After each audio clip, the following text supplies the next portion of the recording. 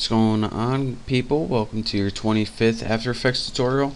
And in this tutorial I'm going to be going over something called motion paths. And a motion path is a path that allows motion. You wouldn't have guessed that would you so let's go ahead and enough of the small talk. Let's go ahead and get started. Uh, the first thing I want to do is go ahead instead of this one view go ahead and create two views um, horizontal. And go ahead and just resize your box so you can see them all. You can use your uh, uh, little roller ball, uh, I don't even know what it's called, between your mouse buttons. And hopefully you're not using a Mac.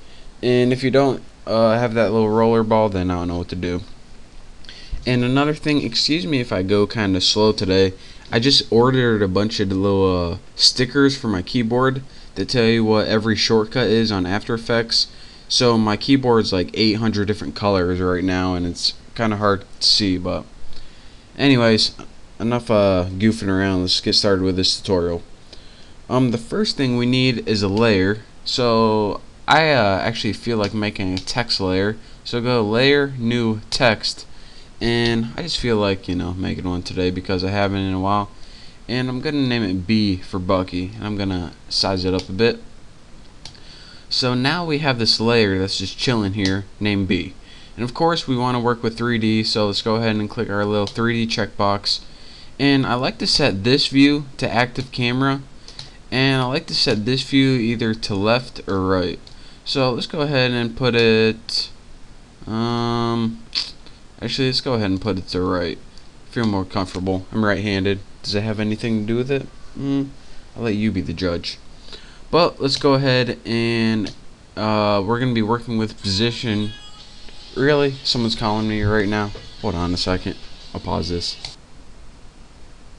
Alright guys, that was just one of my friends calling me at midnight wanting to steal my badge for work. But anyways, that is irrelevant. What we're here to talk about today is animating position. So let's go ahead and click this little checkbox right here and let's go ahead and move this one all the way back uh, like this. And the next thing we want to do is move ahead to like two seconds or something. And then we want to move this up a little bit and towards us. Uh, right there looks nice. And as you can see from this right angle uh, you can see well the right view and from the active angle you can see the front view of it so let's go ahead and move this to 4 and we hopefully give this a little roller coaster effect right here. And then we'll end it at 6 or something like that, like this. And this brings me to another point. Anytime you want to um, edit your, I think they're called Bezier handles or something, I call them curviness handles. Just go ahead and those are these little dots right here. And if you can't see them, go ahead and click the anchor point. And what this is going to allow you to do is adjust the curviness of your image. So make sure you got that selected. Gotta grab it. Ah, there we go. Got it. So once you edit those, uh, you're able to edit the curviness. Um, uh, I think I'm gonna sneeze. Ugh.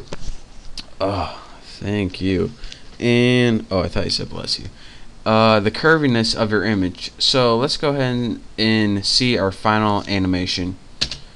Up and down and up again. I shouldn't have made that took so long.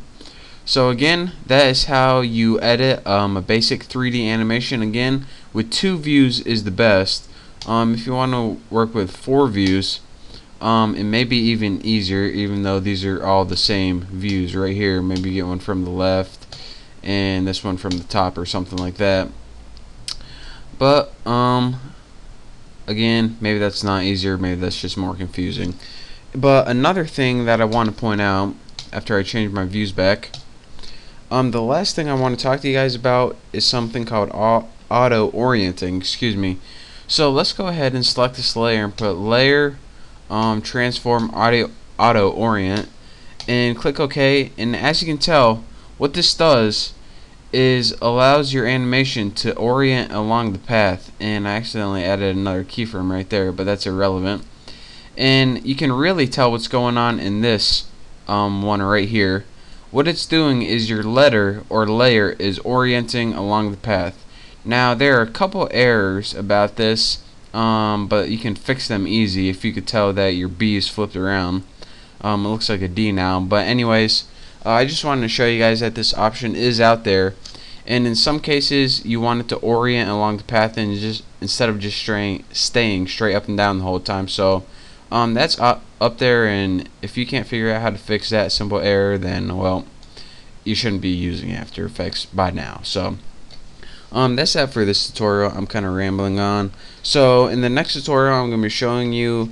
Well, I don't even know what I'm going to be showing you, but I guarantee it's awesome. And yes, that's a guarantee. So um, thank you guys for watching. Don't forget to subscribe to my channel.